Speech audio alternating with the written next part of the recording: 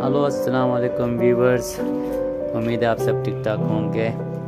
आज मैं आपके लिए लाया हूँ दो एचपी का जेट पम्प ये इटली का है और ये फुल एसएस में है।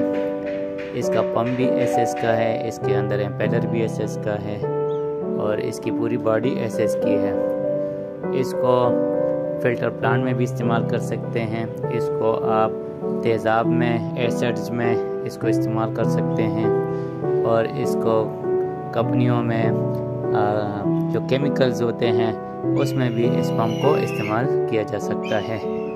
तो वीवर्स अगर किसी को ये पंप लेना हो तो मैं इसके साथ ये फ़ोन नंबर लिख दूँगा। आप इस पर रबता कर सकते हैं।